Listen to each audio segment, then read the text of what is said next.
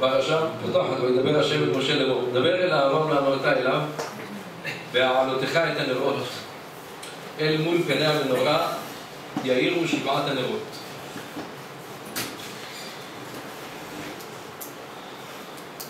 רש"י אומר, מה זה בהעלותך את הנרות? רש"י מביא שני פירושים. מה זה בהעלותך?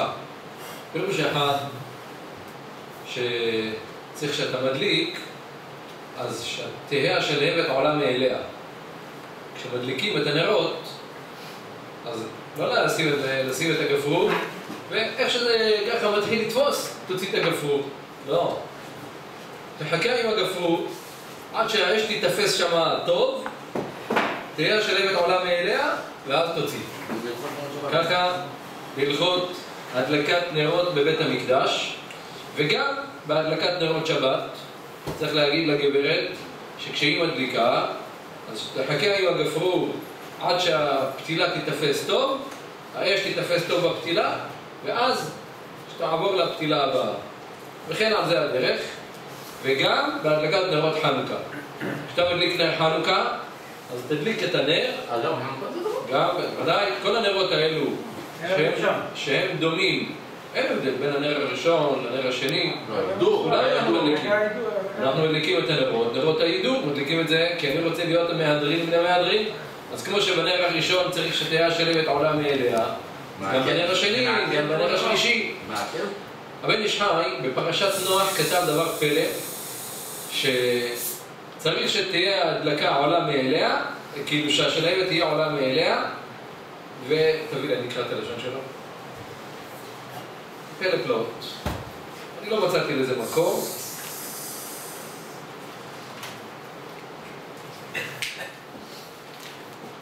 ידליקו נרות שבת, רוב היוצא מן הפתילה, שאם לא ידליק אלא ראש הפתילה ויסלק ידו ממנה, זאת אומרת הבן איש חי, נחשב כאילו דלקה מאליה ואינו מקיים מצווה בהדלקה. וכן היה בנרות המנורה של בית המקדש, וצריך להיזהר בזה גם בנרות חנוכה. וזה אומרים צריכים למרוח שמן בפתיליות. בפרשת נוח. למרוח טיפה שמן שהם ידלקו טוב. שמה? למרוח טיפה שמן בפתיליה לפני שאתה מדליק אותה, אפשר, אתה עושה... שתדלק טוב. היום עושים את הפתילות גם בצורה כזאת שהן נדלקות. זה לא העניין שרק שתמרח אבל שמן. בחנוכה למדנו. כן, אבל לא מצד שרק שתמרח שידלק טוב. שכשאתה שם את הגפרור, מצמיד את הגפרור, כשאתה שלא- עוזר לה, שהיא לא נדלקת מעצמה. אז לא הבנתי. אתה עוזר לה שלא תדלק מעצמה, כאילו אתה איתה ביחד עם המצית או עם אתה הזה, צריך עם המצית, יפה, שהיא שלא תת- שהיא תסלק. תיתפס, שלא תסלק. לא, לא לסלק את הגפרור עד שזה ידלק. עד שתיתפס טוב. נכון. אבל מה שהבן איש חי אומר שזה נחשב כאילו דלקה מאליה והוא לא מקיים מצווה בהדלקה, זה דבר פלא. להגיד שהוא לא מקיים מצווה בהדלקה כי זה כאילו נדלק מאליו, זה דבר חדש, לא מצאתי לזה מקור. למה זה לא נקרא שאני מקיים מצווה? זה, זה כבחינה, זו השאלה. טוב.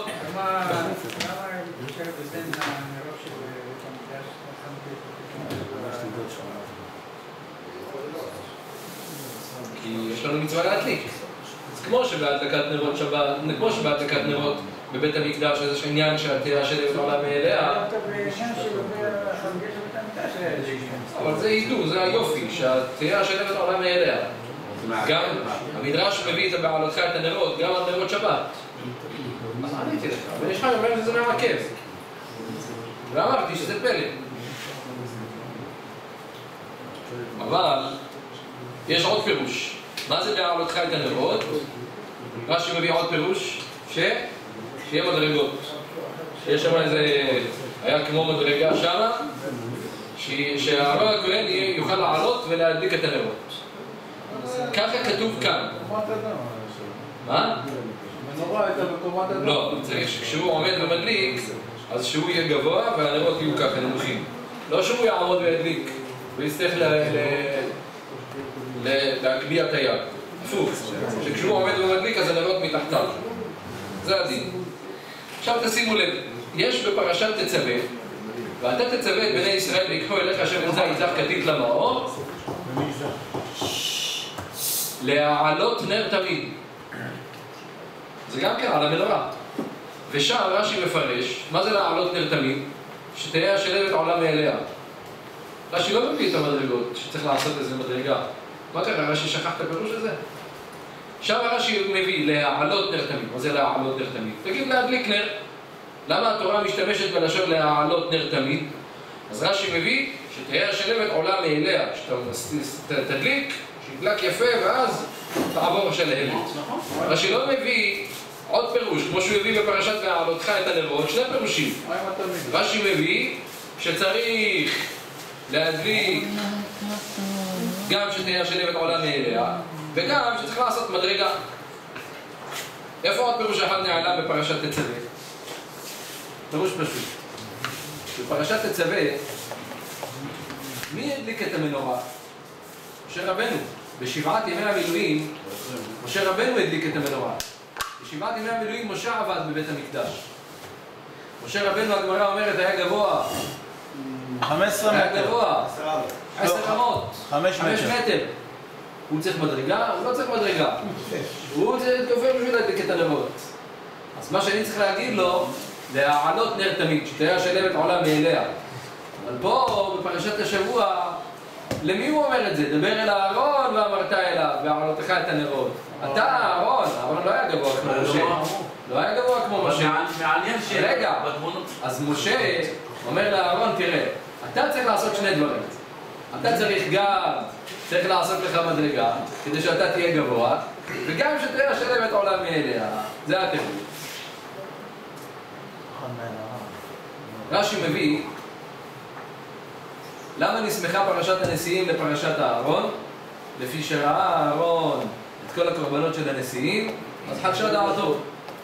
ואז הוא אמר, למה אני לא מקריא? אמר לו הקדוש ברוך הוא, חייך, שלך גדולה משלהם, שאתה מדליק ומטיב את הנרות.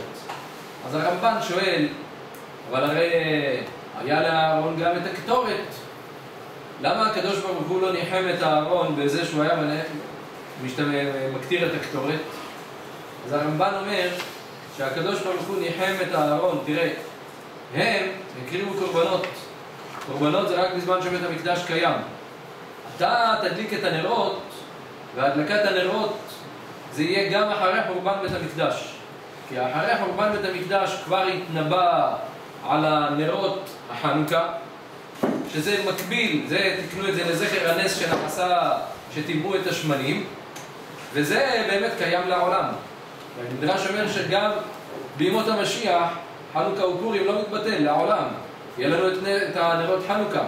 אז בזה הקדוש ברוך הוא ניחם את אהרון הכהן. הנה, קיבלת את הנרות, והעלותך את הנרות יאירו שבעת הנרות. אבל נשים לב, יש כאן דבר מעניין. אהרון הכהן, חסר לו מצוות. הרי אהרון הכהן, בזמן הנשיאים, בזמן שהנשיאים הקריבו קורבנות, אז הוא גם כן הקריב קורבנות. קורבן תמיד, של שחר, בין הערביים, גם כן, הוא היה מקריב קורבנות. רק לא היה לו קורבנות מיוחדים. זה לא היה לו. אבל קורבנות סתם היה לו. רק אהרון, חכם לב, ייקח מצוות. אהרון מחבב מצוות, אז אהרון לא מסתפק במועט. אהרון רוצה עוד. יש לנו דבר כזה מעניין. בהמשך מיד אחרי זה, אז הפרשה של פסח שני. ויהי אנשים אשר היו טמאים בנפש אדם, ולא יכלו לעשות את הפסח במועדו, לא יכלו להקריב קורבן פסח. אז ויקרבו, ויאמרו האנשים המה אליו, באו למשה ואהרון, ואז הם אומרים, אנחנו טמאים לנפש אדם, למה ניגרע לבלתי אקריב קורבן השם במועדו? אז משה אומר להם, אתם יודעים, עמדו וישמעה מה יצווה השם לכם. אומרים, הגמרא אומרת, מי אלה היו? לפי דעה אחת, אלה היו נושאי ארונו של יוסף. איך? אבל משה הרים את הארון, לא? שהוציא את ה... הוא הוציא אותו, אחר כך הם סחבו. הוא דאג ל... שהיה מלך. ויאמרו האנשים ההם האלה. האנשים, זה ראשי תיבות, לא לפי סדר. מי היו? נושאי ארונו של יוסף. זה ראשי תיבות. האנשים, הם, מי היו? מי אלה האנשים האלה? לא כתוב, בתורה לא כתוב. מי היו? זה הם, הם, נושאי ארונו של יוסף. אלה האנשים ההם האלה. עכשיו תתאר לעצמך, בן אדם לא יצליח לשמוע שופר בראש השנה. ראש השנה בלי שופר, על כך נסר מן הספר.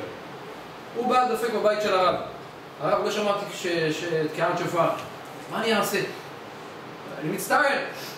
הרב אומר לו, חכה רגע, אני אדבר שנייה עם הקדוש ברוך הוא. מרים טלפון, ריבונו של העולם, יש פה בן אדם, לא שמע שופר, והוא... לא, הוא לא מוצא חן בעיניו, הוא מצטער על זה.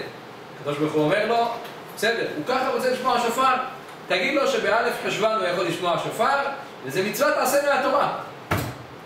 אתם רואים מה שהיה שם? הם לא יכלו להקריב קורבן פסח, הם היו טמאים. מישהו טמא, אסור לו להקריב קורבן. כרת. באים למשה, משה, אנחנו רוצים קורבן. משה אומר להם, חכו, אני מדבר עם הקדוש ברוך הוא. הקדוש ברוך הוא אומר לו, כן. הם אומרים, טוב, איש איש כי יהיה טמא לנפש, או בדרך רחוקה וחדל לעשות הפסח, אז יש לו תקנה. יש בחודש השני, בחודש אייר, שיעשה גם כן קורבן פסח. איך? עכשיו בוא נראה. האנשים האלה שהם היו טמאים לנפש אדם, הם עשו מצווה שהם סוחבים את הארון של יוסף? בטח יוסף הצדיק למעלה בשמיים, מישהו מאיתנו היו אומרים לו, תשמע, רוצה להרים את הארון של יוסף? בטח. מוכן ללכת רק לסחוב את הארון של יוסף, מוכן. עשו מצווה, בוודאי, מכבדים את יוסף הצדיק, נו בטח. אז מה, אז לא יקרב את הקורבן פסח. לא, מה פתאום? אני לא אקרב קורבן פסח, אני רוצה. אז מה? גם זה וגם זה. איך, אבל אה, לא אוכלים את העוגה מכל הצדדים. לא, במצוות אני רוצה את הכל. זה חכם לב ייקח מצוות. בן אדם, בן אדם, אוקיי, נכנס לאולם. נכנס לאולם, אתה רואה שולחן ראשון מצד ימין, עשרה סוגים של מאכלים, מינים ממינים שונים, משהו משובח ביותר. חבר שלך קורא לך, בוא בוא, שב לידי. אתה בא, יושב לידו, אתה רואה פה יש רק חמישה סוגי מאכלים. אומר לו, אחד מהשניים. או שתגיד לו, בוא נעבור לשולחן ההוא, או אתה מיד מעדכן את המלצר. הלו חביבי, למה שם עשרה סוגים ופה חמישה סוגים? פשוט. למה? תשמע מה, אני רוצה שיהיה... למה רק חמישה? בוא, שיהיה הכל. אצל אהרון הכהן ואצל האנשים האלו שהם חיפשו מצוות, הם לא מסתפקים במה שיש להם. יש להם פה חמישה סוגי מאכלים, לא מסתפקים. למה שיהיה מספיק? לא, אני רוצה עוד. שיהיה יותר. הם הבינו מה זה. הגמרא מספרת על רבי עקיבא, שכשהוציאו אותו להורג, רבי עקיבא, היו סורקים את בשרו במסרקות של ברזל. היה קורא שמע ישראל השם אלוקינו השם אחד. אמרו לו תלמידיו, רבנו עד כאן. אז הוא אומר להם, כל ימיי הייתי מצטער על פסוק זה, מתי יבוא לידי ואקיימנו. עכשיו, שבא לידי אני לא אקיים? רבי עקיבא. אבל איך אפשר לעמוד בזה?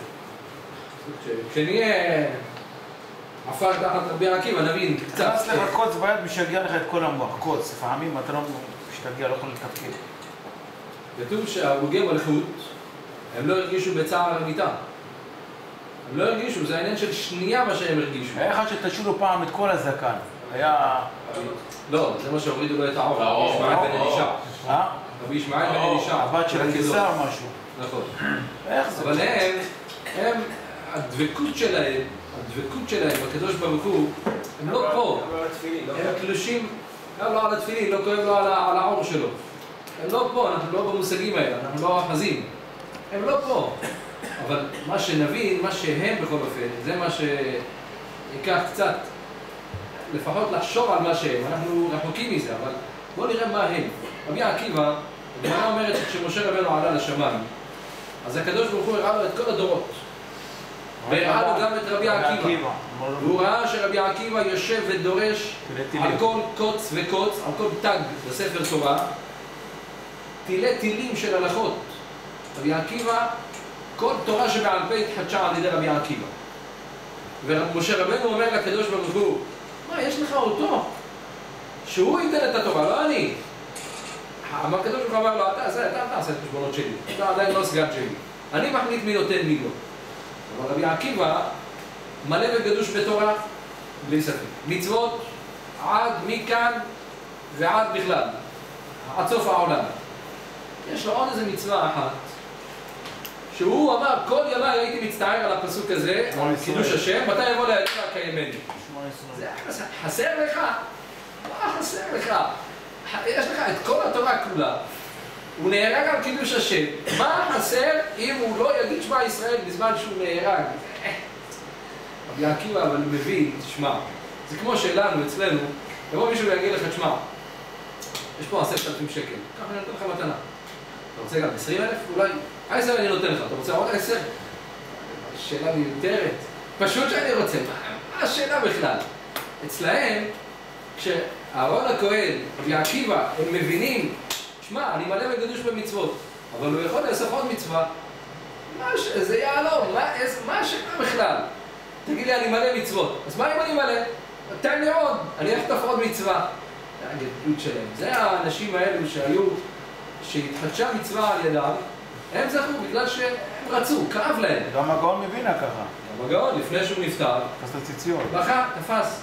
זה. מראה לנו, זה מראה לנו, הם הבינו כי הם, הם, הם התנהגו ככה כי הם הבינו מה השווי של כל מצווה. מזה נלמד כמה שווה כל מצווה שאנחנו עושים. אדם צריך להעריך את מה שהוא עושה. אדם לפעמים מזלזל בעצמו. מה אתה, התפילין שלי לא שוות. אני לא משה רבנו ולא הרב עובדיה ולא... אתה האדם הפשוט שאתה מניח תפילין, אתה מתקשר עם הבורא עולם. אתה, שאתה שומר שבת, אתה יודע כמה אתה שווה. אתה מזלזל בעצמך, אתה לא יודע על איזה יהלומים אתה דורך. אדם צריך להעריך את מה שהוא עושה. אדם שקובע עיתים לתורה, אדם שלומד, אדם שמתפלל, אדם שקורא תהילים. צריך להעריך את זה.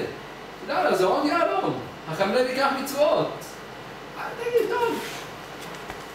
הסתדר שעשיתי עוד מצווה. לא. הסתדר לך, אז אתה, אתה צריך להיות בן אדם מאושר. זה הגדלות של... תראו שבאמצע הפרשה יש נונים הפוכים. כתוב, ויהי בנסוע אהרון, ויאמר משה, קומה השם ויפוצו אויביך וינוסו משנאיך מפניך, ובנוחו יאמר שובה השם רבבות אלפי ישראל, ואז יש שמה, זה שיר של אשכנזים שמוצאים את הספר תורה בדרך כלל. איך? שיר של אשכנזים שמוצאים את הספר תורה נכון. באחד. אז יש שמה נון לפני ונון אחרי. יש נון לפני ונון אחרי. שתי נונים הפוכות בספר תורה. עושים נון הפוכה. ככה זה בספר תורה, מי שיסתכל בספר תורה, או בתיקון סופרים, אז הוא יראה שמה שתי סימנים, גם בחומשים יש את זה. נונים הפוכות. מה זה נון? בארמית, נון זה דג. נון זה דג. הם, התורה אומרת, לפני כן, כתוב ויהי בנוסעה מן המחנה. הם נסעו. מה הטענה שלהם הייתה? הם היו בהר סיני, והגיע הזמן שהקדוש ברוך הוא אמר, טוב, יאללה, הולכים. מה התינוק עושה כשהוא שומע, הנה יש לו תינוקות? מה עושים כשמצלצלים שם בצלצול בתלמוד תורה? אתה שומע צלצול? מהר כולם מרימים את הכיסאות, לוקחים את הילקוטים ורצים החוצה. כתינוק הבורח מבית הספר. כאן, הם היו שם בהר סיני, הגיע הזמן, הקדוש ברוך הוא אומר, טוב, יאללה, מקבלים ציוד? הם מהר הלכו, יאללה, הולכים. ויסעו מהר השם. מהר הולכים. למה? אין לנו עוד, די, הנה הציבים, עוד מצוות. מספיק 613 מצוות נתנו לנו פה. די, חלאס. אחר כך, מיד אחרי הפסוקים האלה, כתוב שזכרנו את הדגה אשר נאכל במצרים חינם, ואת הקישואים. ואת האבטיחים, ואת הבצלים. כל הדברים האלה זכרנו. אז נון אחת, זה מרמז על מה שהם אומרים, זכרנו את הדגה. זכרנו את הדגה. הנה, זה נון. עושים נון הפוכה. והנון הראשונה, זה בא להגיד ככה. עם ישראל, אני אומר את זה בקצרה, ככה אומר הכלי יקר. עם ישראל והתורה, אנחנו משולים לדג במים. כל זמן שאנחנו עם התורה, אז אנחנו דג במים.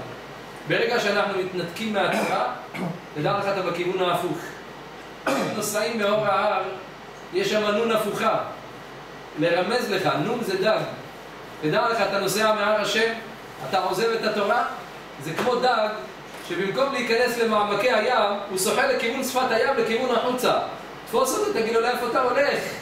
בתוך הים אתה בספק שיתפסו אותך. אתה בורח החוצה, אתה הרי הולך בכיוון ההפוך. ובאמת, תשימו לב, תראו, אחרי פרשת בהערותך, עד פרשת בהערותך, הכל בסדר. יש להם את הדגלים, יש את הדלקת הנרות בהערותך, יש את קורבנות הנשיאים, יש את אה, ברכת כהנים. שימו לב, מפרשת בהערותך, אמצע, סוף הפרשה ואילך, קברות התאווה, המרגלים, קורח, הסלע, שמשה רבנו היכה בסלע, כשהנחשים, הקדוש ברוך הוא שלח בעם את הנחשים השרפים וינשכו את העם וימות עם רב בישראל, בנות מואב, כל הבלאגן התחיל. איך התחיל? זה משפיע על התקופה עכשיו? יצאנו מהתורה, כשאתה יוצא מהתורה, הרב, זה משפיע על הת- על התקופה? שנופל לך פרשות עם בעיות כאלה. זה גם משפיע. הקריאה. מעוררת את הזמן, ככה כתוב. זה אבל מתקרב בין המצרים אחר כך כל ה... נכון, נכון, זה ודאי. זה תקופה כזאת שחטפו את שלושת הנערים. עוד שבוע. אה? שבוע. בתאריך הלועזי. העברי. כמו בקסקה. בעברי או בלועזי? ואתמול שלחו טילים גם עוד פעם. אל תדאג. איך? הרי- בזכות הנערים האלה התגלה כל הנערות. השם ישמור. אז זהו, אתם רואים, הקריאה מעוררת את הזמן. צריך להתחזק ולדעת. הנון, להפוך אותה בחזרה. לדעת שאנחנו צריכים לצעוד בכיוון ההפוך. כל חיזוק שאדם מקבל, וכל משהו אפילו קטן שאדם מקבל, זה פועל. סיפרתי לכם פעם, שבן אומר, היה איזה אדם אחד, מורה לציור, שהיה מלמד נערים איך לשרטט מפות. מלמד אותם איך לצרטט. בהתחלה מסרטט לו מפה של שכונה, אחר כך כמה רחובות, אחר כך עיר שלמה. עשו לו סקיצות. אחר כך עושה לו מבחן. תצייר לי חצי מאשקלון. אין בעיה, תצייר לך. סרטט, מסתכל ברחובות, בכבישים, מסתכל, ישב על זה ימים ולילות. אחרי שעבד על זה כמו שצריך, בא למורה, יאללה, תסתכל, תן לי את העבודה. הוא מסתכל, מסתכל, מסתכל, פתאום, פח, הנחית עליו איזה צ'פחה אחת. מה קרה? שכחת פה איזה נקודה. מה הנקודה? זה בטל במיליון, בטל ברוב. תראה, הכל מסורטט טוב. נקודה אחת שכחתי. לא, לא, טיפש. פה זה נקודה אחת. שם זה בניין גדול. שם מי שיגיע יראה חסר נקודה, העיקר חסר, אין פה כלום. פה אצלנו מה שאנחנו עושים, זה סך הכל מפה קטנה. זה נקודה קטנה. אתה יודע מה נקודה קטנה שם פועלת בשמיים? פה נקודה קטנה, שם זה מגדל. פה זה משהו קטן. עוד איזה תפילה, עוד איזה עשר דקות שבן אדם לומד. שם למעלה זה מרים. זה חיי נצח. זה ברוך אלוהים שברנו לכבודו וחיי העולם נתנו. זה הזכות שלנו, שאנחנו עוסקים בלימוד, מקיימים תורה ומצוות, לדעת מה העושר שלנו, ונהיה חכמי לב שלוקחים מצוות, שיזכה אותנו, שנזכה בעזרת השם, בזכות התורה, תגן על כל מי שצריך ישועה ובריאות ונחת ופרנסה, בעזרת השם, שנזכה להמשיך ללמוד וללמד, לשמור ולעשות.